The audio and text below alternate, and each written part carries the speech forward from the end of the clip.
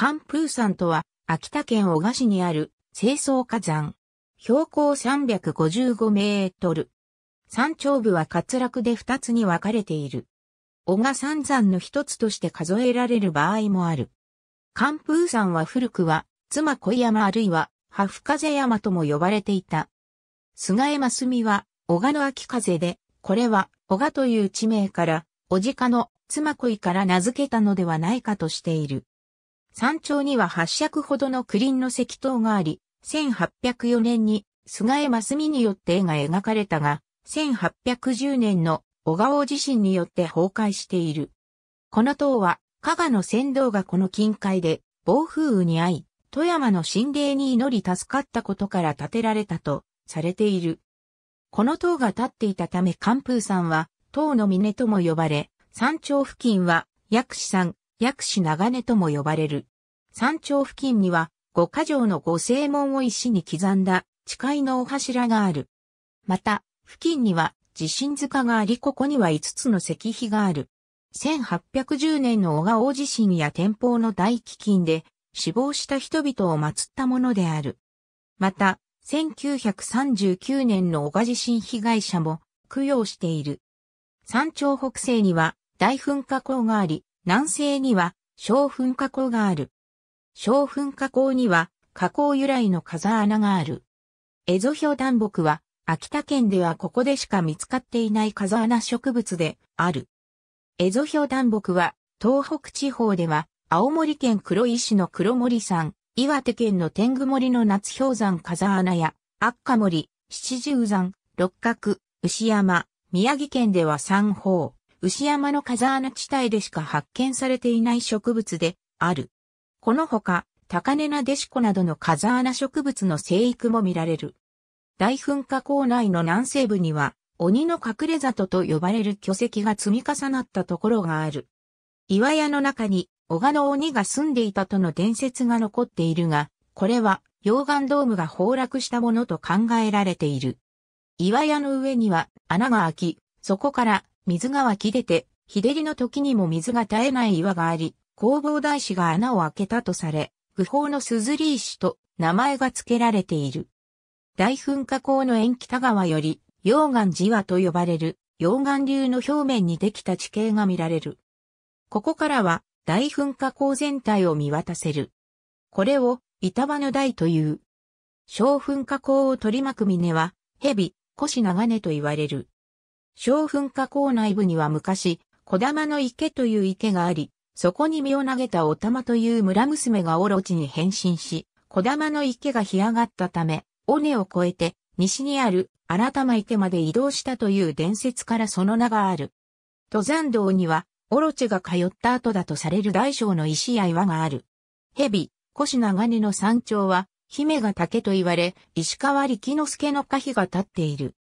寒風山山頂と姫が、竹はもともと一体であったが、大きな地滑りによって、現在の位置に移動したと考えられている。小噴火口内部には、風穴があり、穴からは冷たい風が吹いている。蛇、腰長根の西南の谷を、竜のマダニと言い、秋田実末が脇本城の安藤治きを攻める際に本堂を避けて八郎型の浅瀬を渡りこの谷まで忍んで行軍し、安藤治きを破ったとする伝説がある。姫が竹と寒風山の間には駐車場があり、ここが妻恋峠と言われる。妻恋峠から寒風山方向への道路のカーブしている部分に小さな窪地がある。これが妻恋峠火口である。寒風火山の地形図3万年以降に活動開始した。大部分の溶岩は2万年以降に噴出したようである。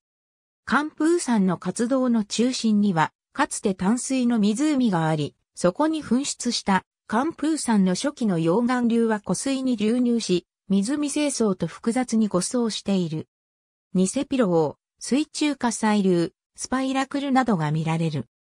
溶岩は安山岩が主体で少量の玄武岩を伴い、普通奇石、ヒ素奇石、自鉄鋼、観覧石、普通核戦石などの有色鉱物反照が見られる。2700年前には火砕流が発生したが、地震活動や噴気活動などマグマの動きや噴火の兆候が全くないため、気象庁の指定する活火山には含まれていない。山麓では安山岩の採石が行われている。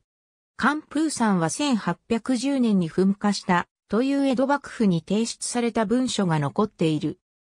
しかし、この文書には被害や噴火の詳細が全く書かれておらず、噴火の堆積物も見つからないため、農作物の被害を水増し申告するための布石として、江戸の久保田判定において捜索し、江戸幕府に提出したものと考えられている。ただ、1810年には大地震が寒風山付近で発生している。この年、5月頃から明道があり、8月初めからは、八郎型の水の色が変化し、ボラが多く死亡した。7月中旬頃からは、地震が頻発し、8月25.26日頃には、日に70回程度の地震が起きていた。9月25日には M6.5 と想定される大地震が発生した。寒風山を中心に被害が発生し、山崩れが多く、地割れより泥が噴出した。被害は死亡者が57名、負傷者116名、全回戦3棟、半壊400棟、大破387棟、消失5棟であった。小賀市北浦の温泉湧出が止まり、八郎型の西岸の松木沢と原糸間が約1メートル隆起した。源野城市の浜浅口と黒岡両村で全壊6棟であった。関風山の山頂付近の地震塚には、変死亡霊供養塔が建てられた。菅江真澄はこの地震を滝川村で経験し、大地震前後の詳細な状況をおじかの寒風に記録し、大地震直後の寒風山登録をめぐっている。寒風山からのパノラマ芝生に覆われた山肌と近隣に障害物がないことからパラグライダーが盛んに行われている。また山頂には1964年に建てられた回転展望台や八郎型の資料館が設置されており、秋田県道55号入道崎寒風山線が通るなど小菓子を代表する観光地に位置づけられている。回転展望台の館内は1階がお土産品売店、レストラン、2階が展示ホールになっており八郎型、干拓当時の写真等を紹介し、3階は小賀半島の歴史、自然、地理にまつわる標本、文物を紹介する資料展示室となっている。4階は約13分間で1回転する回転展望台で大型村、鳥海山、入道崎と360度の大パノラマを満喫できる。関風山回転展望台のロータリー内には、世界三景、関風山の看板が設置されている。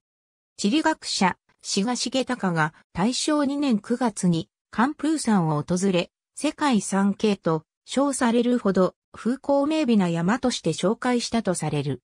世界三景とはアメリカのグランドキャニオン、ノルウェーのフィヨルド、カンプー山だと言われている。滋賀は、主著、日本風景論で、カンプー山を以下のように表現している。山頂に円形なる、急下湖あり、周囲一里余り、全山奇跡安山岩よりなる、沿岸は、日本海のドロー岩石を打ち、風光の鉄塔なる東北に、関絶と最大限の惨事をもって紹介している。世界三景には異なる説もある。初代小菓子町の中川重春が関風山からの眺めはナポリやブエノスアイレスと比しても劣らないと称賛したことにより元金庫会が標柱を立てたとの説もある。2011年には小賀半島が小賀半島大型ジオパークとして日本ジオパークの指定を受けた。関風山はその中核を成している。